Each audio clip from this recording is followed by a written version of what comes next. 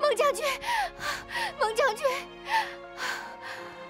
你大人，小月不会说出去的，小月不会的，小月不会说。你呀，又是梦你，你这个混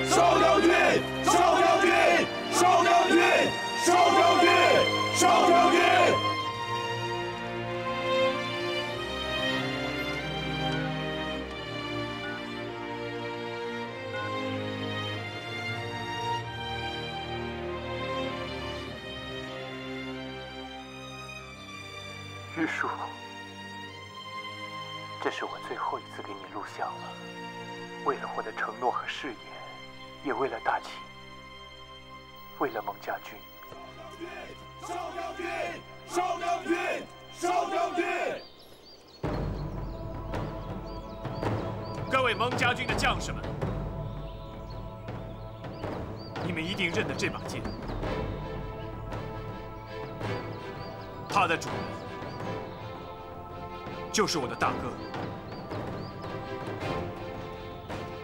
也是你们战无不胜的蒙将军。可是今天，他没有办法站在这里，或许他永远也不能站在这里了。可是我向你们保证，向每一个活着的蒙家军将士保证，向每一个逝去的蒙家军忠魂宣誓：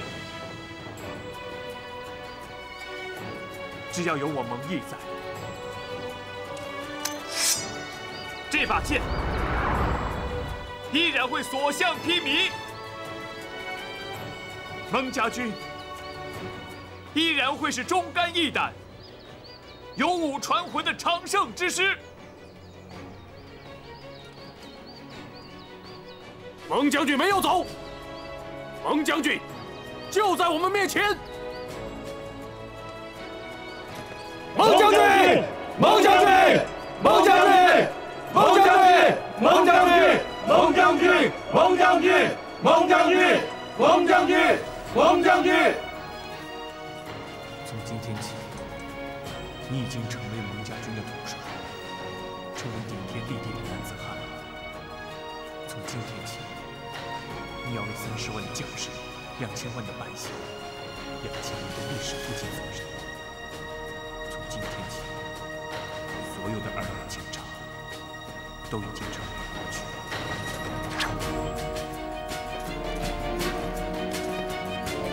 忠肝义胆，勇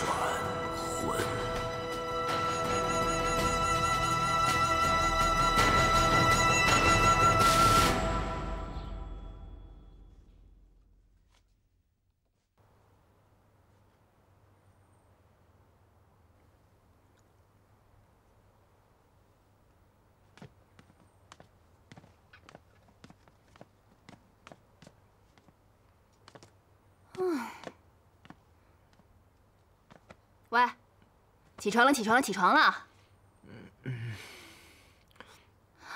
竟然敢不理我！嘿，正好，试试我的点穴神功。我点，我点，我点，我点！哎呀，哇，干什么呀？一大早的，搞什么鬼啊？你也知道是一大早啊？赶快起来去跟我锻炼，快！一晚上没睡好，你让我睡一会儿好吗？哎呀，哎呦，不是说过了吗？不让你熬夜，不让你熬夜，你这样熬下去会把自己熬垮的。哎呀，我能不熬夜吗？你看，我已经看了一夜了，一点线索都没有。嗯，能不熬夜吗？那你熬夜都研究了什么呀？嗯，你研究中医干什么呀？作茧门人为火患那篇所指的简人心经啊，讲的就是经络。为了找线索，我只能研究研究经络喽。哎呦，哎呦，哎呀，怎么了？怎么了？怎么了？哎呦，我的悬殊、命门到腰阳关一线都很疼啊。不是你干脆说你腰疼不就得了吗？干嘛非得找那么多专业术语来啊？这两天啊，我一直研究经络，满脑子都是这些词儿，习惯了。我告诉你啊，你就是因为啊，整天坐在那边研究经络，而没有真正疏通你的经络，所以才会腰疼的。哎，今天你听我的，放半天假，我带你去去打通你的经络。你要干什么呀？去了就知道了。走。呃，哎哎，哎呦，哎呦，哎呦！啊！我不行了，不行了！哎呦，啊，你放过我吧！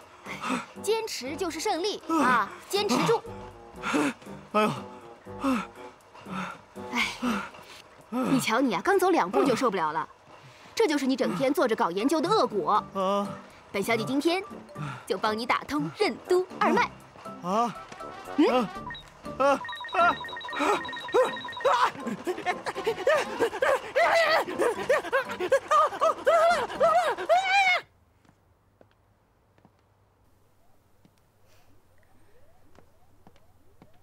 都是些无聊的东西。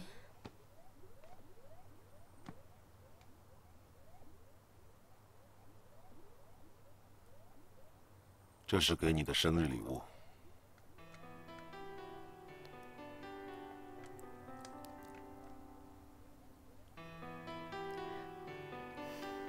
二十年了，你从来没有忘记我的生日。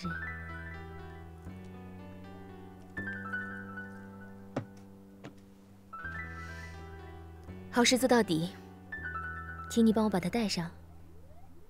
今天是你的生日，下不为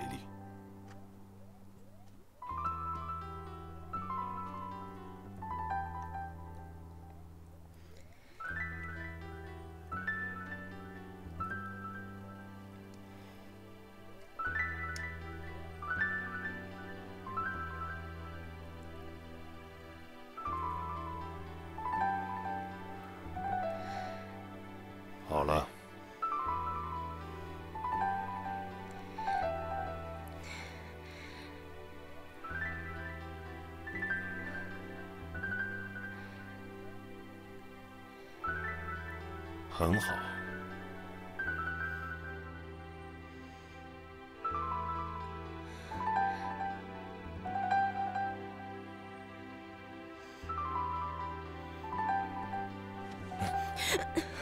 看来我犯了个错误。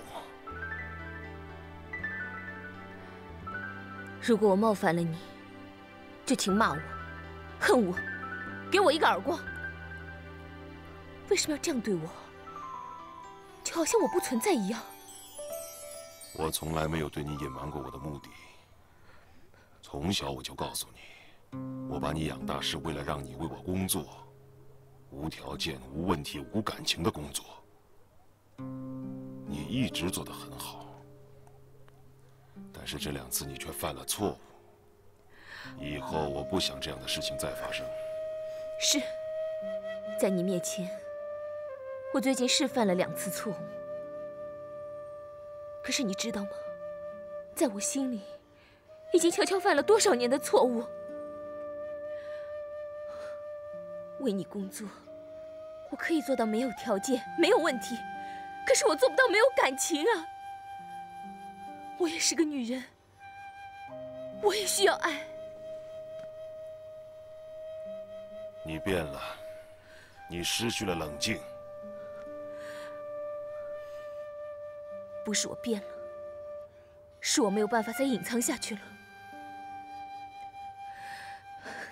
在这一点上，我要感谢高兰。要不是她的出现，我还不知道要把这件事情藏在心里多久。我告诉你，我恨他，嫉妒他。我在你身边二十年了，他才刚刚出现，凭什么就在你的心里？他算是个什么东西？对不起，我也失去了冷静。但请你不要和他作对，他和你对我都很重要。你会为了我给他一巴掌吗？不，你不会，因为他在你的心里。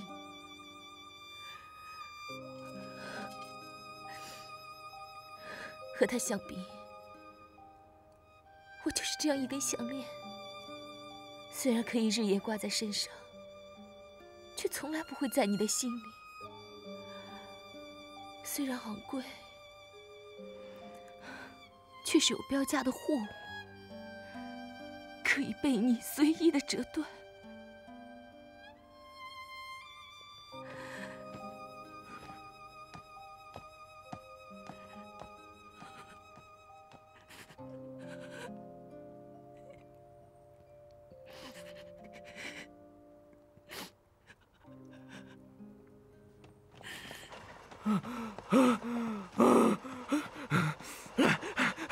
我觉得呢，以后你不能再这么继续下去了，所以以后你要经常跟我出来锻炼。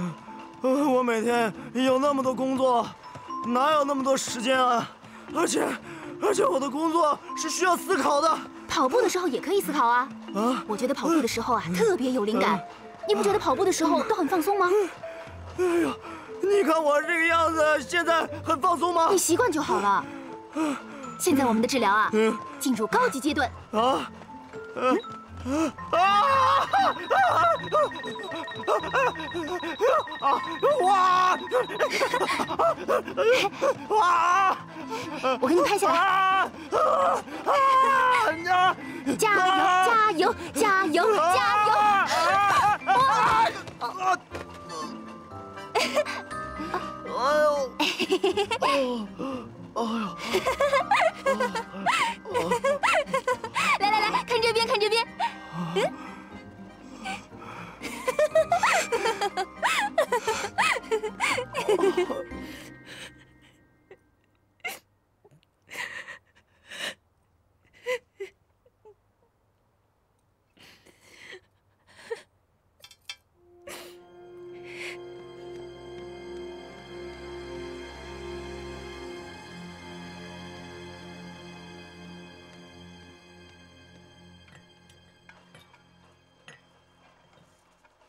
贴好了，我说啊，你呀，以后啊机灵点儿，那个紧急按钮一按就停的，笨呢。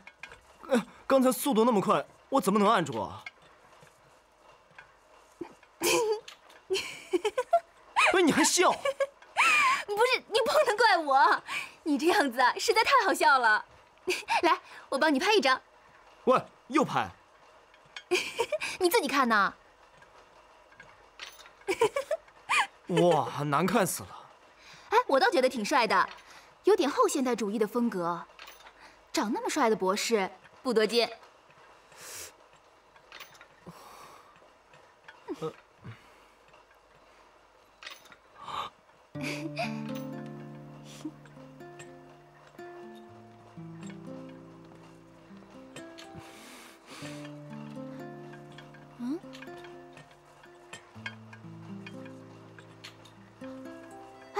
女孩好像挺眼熟的，就是想不起来在哪里见过。她就是啊，赞助我研究的那个罗拉小姐。啊，我想起来了，她不就是在那个文物展上和你眉来眼去的那个美女吗？她是，喂，你这是干什么？我想让你替我挡着一点，千万别让她看见。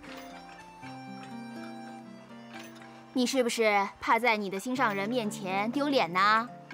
什么心上人啊？我跟他一共也没见过几次，你胡说什么？再说了，我跟他到目前为止，我跟他只有官方接触。到目前为止，那将来呢？哎，小姐，过来这边。哎，你干什么？我要让他早点看清你的真面目，省得他上当。你哎，是你啊，易博士，这么巧啊？啊，你好。你，哎呀，你脸上怎么了？啊，呃，意外意外。哎，小姐，你见过这么帅的博士吗？呃，这位是？啊，他是我的。你好，我叫高兰，我是易大川同学的健身教练兼护草使者。那真是幸会了。好啊，居然对我下黑手，我也不是好惹的。果然有点实力。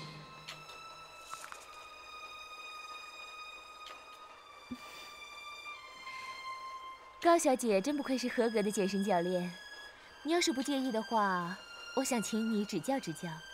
啊，既然罗小姐有如此雅兴，我当然要奉陪了，请，请。哎，你们这是要干什么呀？有一种行为叫做 PK。啊，高小姐言重了，不过是切磋一下。哎，你们才刚见面，别这么激动好吗？啊，哎，喂，接着，你呢？多帮我拍几张我得分的好照片，我的博客要用。啊，易博士，麻烦你也替我拍一些精彩的视频。我。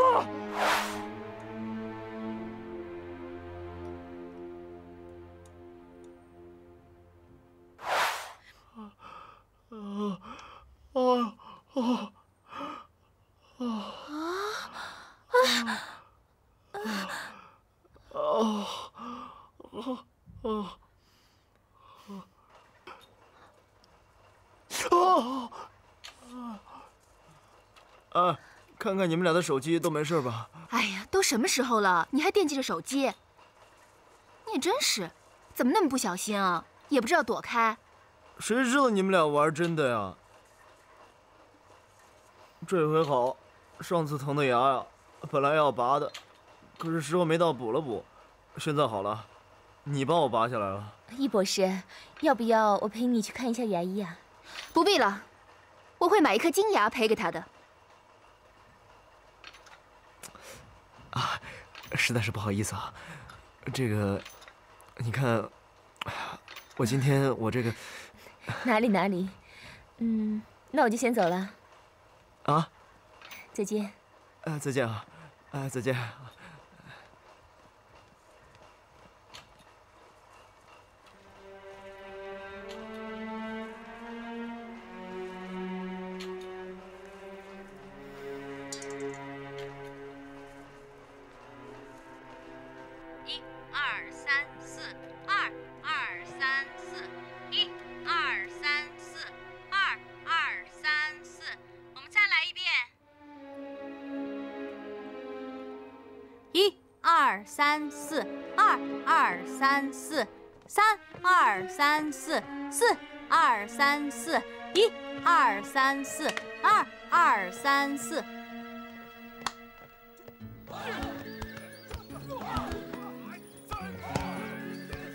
将军，自从你设计了这些新的训练项目之后，兄弟们训练的热情高涨了许多啊！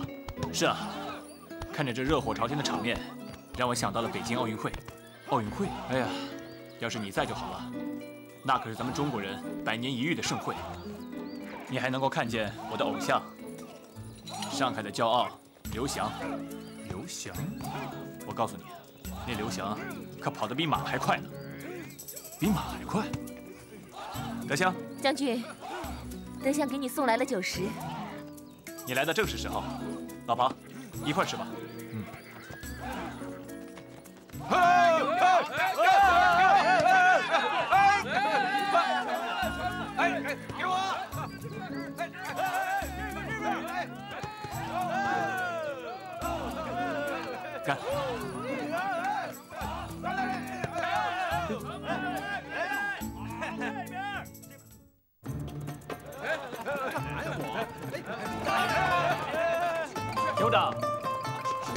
这什么东西啊？这是，这是猪虽炮。猪虽炮。哎，来来来来！来那边，那边，那边！给我！德香。我能不能跟你借样东西啊？将军，您只管说。德香是将军的女仆，请不要说什么借字。你老这么说。哎，我是想借你身上的纱巾用一下。是匈奴女子的服饰，将军要来何用？山人嘛，自有妙用。可是，这德香如果解开它，德香的腰腹便会露出来。哦，对不起啊，我没想这么多，蒙毅失礼了。将军，你身份尊贵，怎么能对一个奴隶道歉？更何况还是个匈奴女子。你不要忘了自己的身份，你是个奴隶，一切都是主人的。别说要你的纱巾，就是要你的性命，你不能说个不字。解下来。德香。你等等，老庞，把你的衣服脱下来。嗯，将军，我的衣服，这这是命令。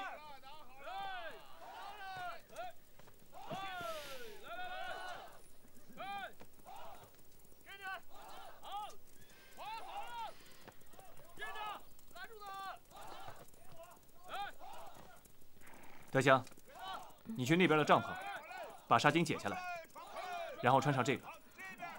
是将军，这这可不行啊！怎么不行？将军，这是蒙家军的军服，怎么能让一个奴隶穿上？更何况是个匈奴女子。我不管她是不是奴隶，这里是军营，我说的话就是命令。你要违抗命令吗？末将知错。营长，哎，将军，你帮我做件事，去找两根细长的竹竿，然后呢，再挑十个身手敏捷的兄弟。哦，那要会武功吗？武功越高越好。哦，那我知道了。嗯，我这就去办啊。哇！哎，将军啊，咱们蒙家军的军服穿在女子身上怎么这么好看呢？怎么了？穿这身衣服了？啊，这女的怎么穿个军服啊？啊？哎，庞将军，庞将军，你的军服呢？哦，是穿到了德香姑娘的身上了。哎，你说奇怪不奇怪？这衣服穿在她身上怎么就没那么好看？怎么穿在德香姑娘身上就那么好看呢？啊！你们胡说什么？田校长，啊，将军，我吩咐你做的事儿做了吗？哦，我现在去做。等等，你把这纱巾绑在两根竹竿上，然后拉成一张网，就拉在那边场地的中央。哦，知道了，将军。哎哎，你们过来，过来，来来来来来来来来来！快快快！你们支起来啊！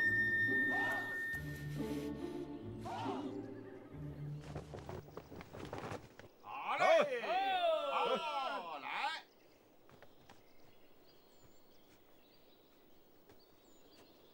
今天呢，我给大家介绍一个新的游戏，规则很简单。第一，这个球不能落地，落地算输一分。第二，每方最多只能击球三次，三次以内必须把球击过网，不过网也输一分。谁先输了二十一分就换人，听明白了吗？好，好，哎，加油，加油，加油，兄弟们，叠罗汉，好。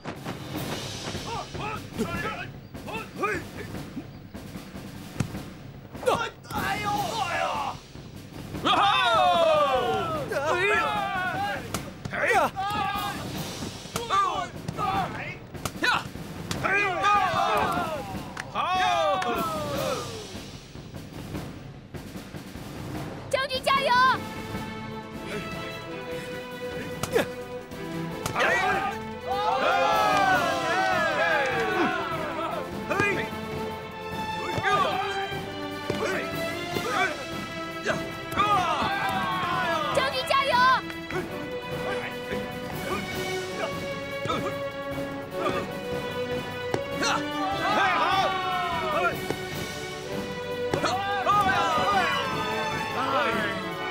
还是将军赢来听我说嘿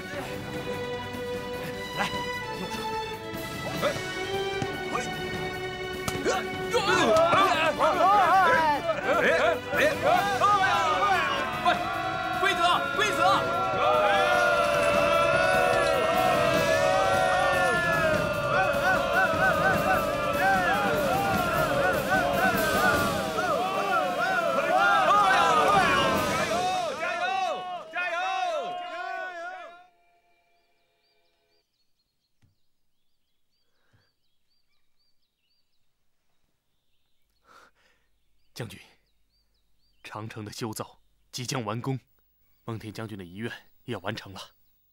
这真是一项伟大的工程。是啊，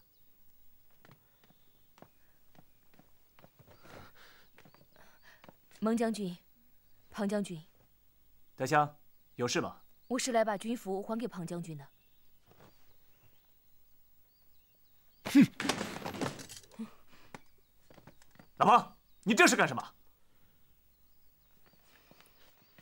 启禀将军，这军服已经被一个异族的女奴隶穿过了，末将是不会再碰的。如果再穿上这身军服，那就是对末将极大的侮辱。德香，你先别走。唐将军，我要你向德香道歉。将军，我已经憋了一天的火气了。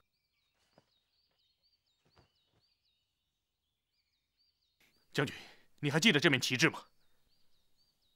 蒙家军多少先辈浴血奋战，才让蒙家军有了现在的声望。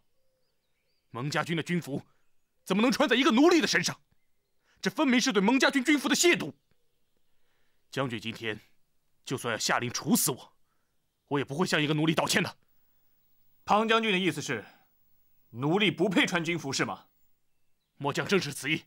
那么庞将军跟蒙毅应该第一个脱下这身军服，马上离开蒙家军。这是为何？你忘了我们之前都做过奴隶吗？照你今天的说法，我们现在正在亵渎这身军服。老庞，我要你记住，人生来都是平等的，我们不能因为一场战争的胜负，就让人有贵贱之分。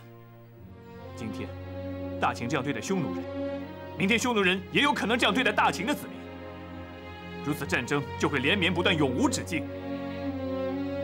今天你能够穿上这身军服，代表你有保家卫国的资格，但绝不能用来作为侮辱别人的资本。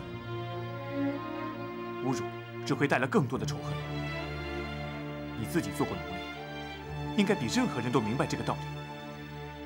现在我们修筑长城，它只能挡住兵马，但永远都挡不了仇恨。明白吗？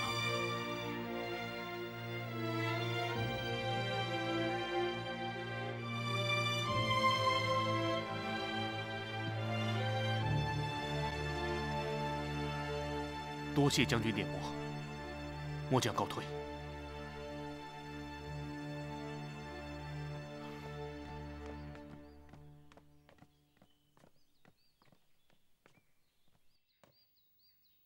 老庞他就是这样的，嘴上不说，其实心里都明白了。他是在跟你道歉呢。德祥明白庞将军的意思，将军。您的一席话也让德香受益。诚如将军所说，我我在匈奴的家中也有大秦的子民在做奴隶。此时德香体会到了他们心中的滋味。将军，德香也告退了。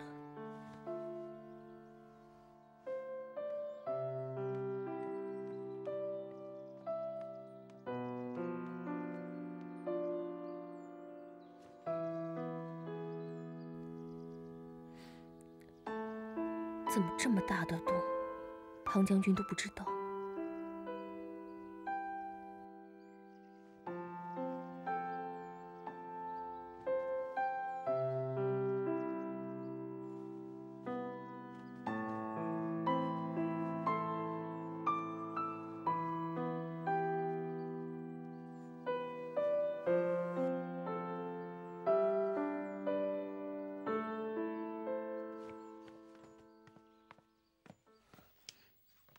将军有事找我吗？我就直言不讳了。你的那些功夫是哪里来的？德香是经过特殊挑选的，然后经过特殊训练出来的女刺客。进入咸阳，本想借机刺杀，不料刺杀失败被捕。本想一心求死，但为报答将军的大恩，德香决定活下来。将军，德香跟随你这么多天，早已被将军的品格所折服，真心归顺。愿意伴随在将军左右。我不是这个意思。你能不能告诉我，你都经过一些什么样的特殊训练吗？飞檐走壁、潜行蛰伏、暗器投毒、夜行突击。这么听起来，那不就是特种部队吗？不如我也组建一支特种部队，出奇制胜。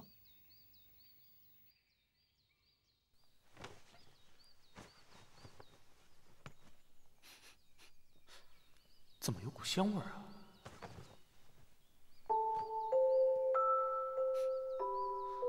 原来是这块布香，难道是德香亲手缝的？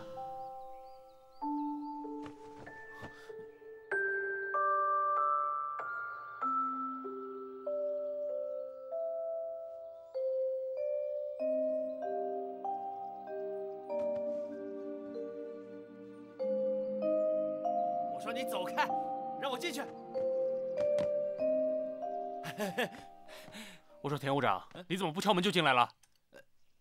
庞将军，你从来没有要求过我们先敲门再进来，今天怎么改规矩了？好了，找我何事？蒙将军说让我们挑选百名武艺过人的兵士，明天一早到训练场训练。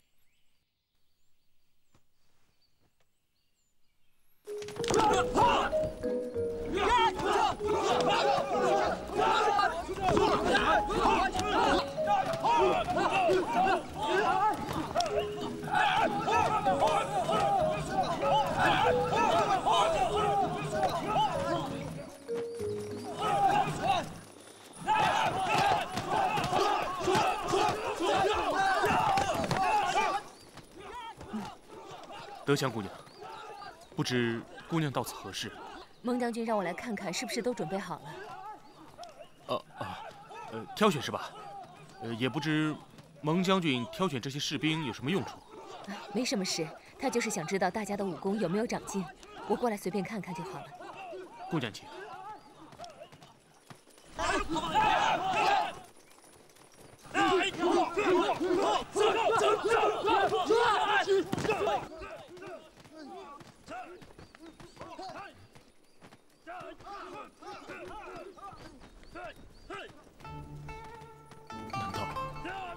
那块补丁是德香的腰带？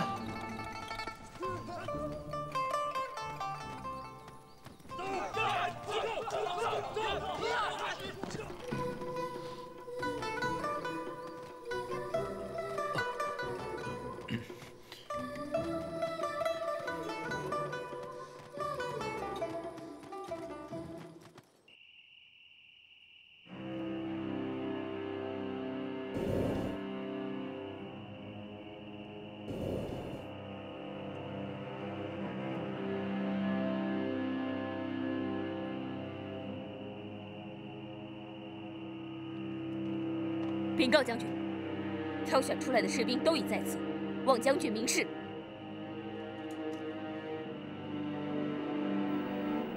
各位，你们都是蒙家军中的精英。今天我将大家召集在这里，是为了成立一支特殊的战队。这支战队就如同你们胸前的猛虎，来去无踪。凶猛异常，我把它叫做飞虎队。从现在开始，你们就是飞虎队的一员。你们将要接受的是最为严格的训练，因为你们将要完成的是常人无法完成的任务。切记。从现在开始，你们只接受我的指挥，不能透露自己的身份，更不能透露飞虎队的存在，明白了吗？是，将军。